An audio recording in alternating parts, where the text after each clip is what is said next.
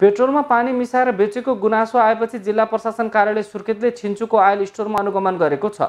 सहायक प्रमुख जिल्ला अधिकारी भीमकान्त पौडेलको नेतृत्वको संयुक्त बजार अनुगमन टोलीले बिहिबार भेरीगङ्गा बाह्र छिन्चु बजारमा रहेको खत्री आयल स्टोरको अनुगमन गरेको हो।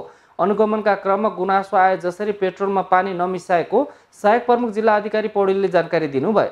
पेट्रोल भण्डारण गरिएको ट्याङ्की समयमै सफा नगरिएको र त्यसलाई सफा गर्न निर्देशन दिएको सहायक प्रमुख जिल्ला अधिकारी पौडेलले बताउनुभयो। अनुगमनका क्रममा खत्री आयल स्टोरको कुनै पनि कैफियत फेला नपरेको उहाँको भनाइ छ। केही टेम्पोहरूमा पानी मिसेको डिजल पाइयो भने पेट्रोल डिजल पाइयो भने भन्दा एउटा सूचना गराएर हामी सर्वदलीय टोली मिलेर अनुगमन गऱ्यौँ यसमा सबै कुरा चेक गर्दाखेरि क्वान्टिटी क्वालिटी दुवैमा चाहिँ खासै केही भिन्नता पाइएन निर्यात नदण्ड पाइयो। र चाहिँ उहाँको यो डिजलको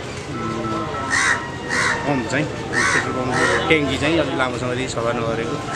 भन्ने उहाँलाई चाहिँ तुरुन्त सफा गर्ने भन्ने हामीले निर्देशन गरेका छौँ र उहाँले पनि तुरुन्तै गर्छु आज भोलिमै गर्छु भनेर गरेर त्यसको जानकारी दिन्छु भन्नुभएको छ। त्यो चाहिँ यसको उहाँहरूको बोर्ड पनि यहाँ देखिएन बोर्ड राख्नु मूल्य सूची राख्नु भनेर पनि हामीले उहाँलाई भनेको छ तुरुन्त गर्छु भन्नुभएको छ।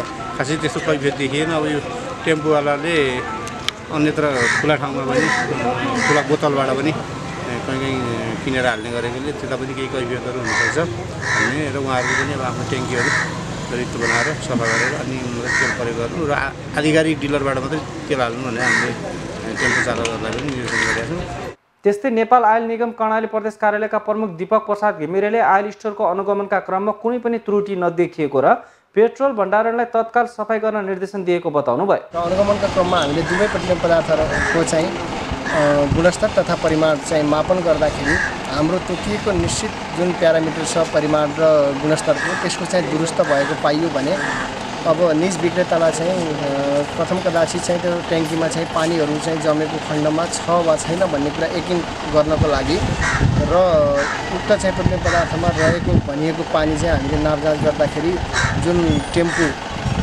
मा चाहिँ चालकले चाहिँ बोतलमा भरेर लिएर आउनुभएको थियो र उक्तमा चाहिँ बोतलमा चाहिँ पानी नै देखिएको र हामीले नापजाँच गर्ने क्रममा कुनै किसिमको चाहिँ कैफियत अथवा गुणस्तरमा चाहिँ फरक पार्ने किसिमको चाहिँ हामीले पाएनौँ र विक्रेतालाई चाहिँ अविलम्ब चाहिँ त्यो आफ्नो ट्याङ्क चाहिँ सफाइ गरेर निगम तथा सम्बन्धित जिल्ला प्रशासन कार्यालयमा जानकारी गराउने भनेर हामीले निर्देशन गरेको अवस्था छ।